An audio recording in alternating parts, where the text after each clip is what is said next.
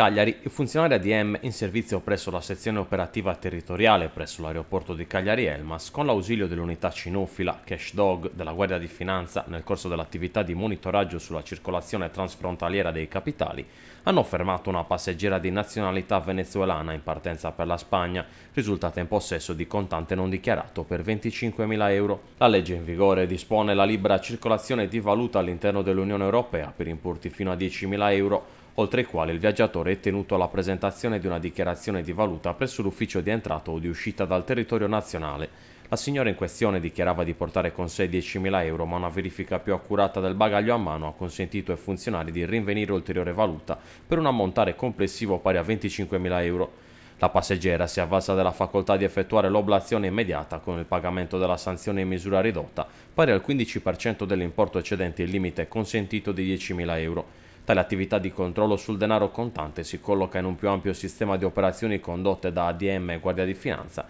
e finalizzate alla prevenzione del riciclaggio e del finanziamento del terrorismo.